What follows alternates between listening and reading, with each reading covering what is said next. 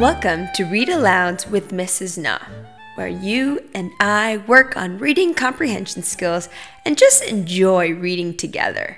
We are excited because we're going to read Curious George by H.A. Rey. I love you. Which is perfect because what holiday is coming up? That's right, it's Valentine's Day next month. So we are going to read this book together. Do you know what the word curious means? Are you curious about the word curious? So, good readers, what they do, a skill that they have, is that they stop when they come to a word they don't know and try to figure out what the word means. And you use the clues that are around you. Curious means you are eager to learn something, you want to know something. So, that must be a character trait of George.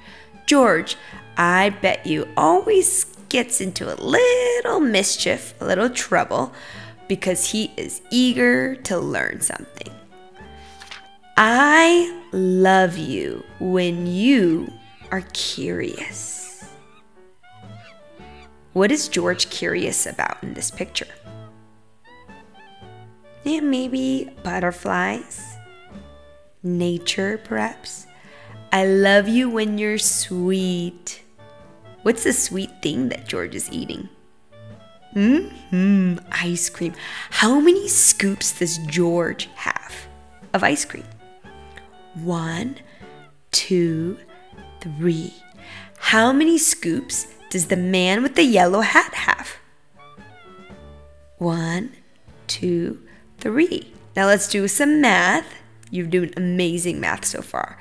we put three and three together, let's see how many we get. One, two, three, four, five, six. Six scoops of ice cream. That's a lot. Very, very sweet. I love you when you're messy after something good to eat. Mm-mm-mm.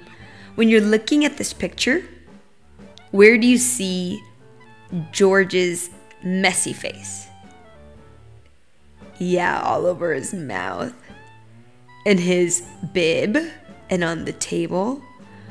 What do you like to eat on that table? Mm, I'm super hungry right now. I would love some spaghetti and meatballs. I love you when you're silly. I love you when you're smart.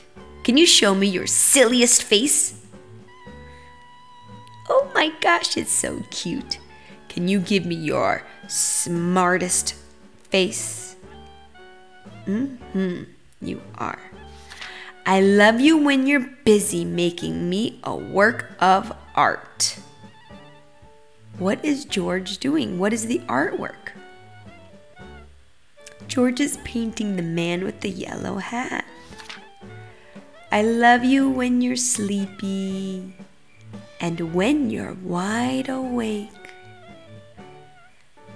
How do you know that George is feeling sleepy from looking at that picture? Yeah, George is cuddly, the cuddling with the man. His eyes are closed. Can you show me a sleepy face? Oh. I love you when you're cranky and the frowny face you make. Show me your frowny face. But you're still so cute. He's cranky. I wonder why George is cranky. Maybe it's because he was wide awake at night from the previous page. I love you when you're gentle and when you're playful too. You're my little monkey. I love you because you're you. I love you, readers, and I love spending time reading with you. Thank you for reading Curious George, I Love You by H.A. Rey with me. I had a wonderful time, and I hope you readers had a wonderful time reading with Mrs. Na. See you next time.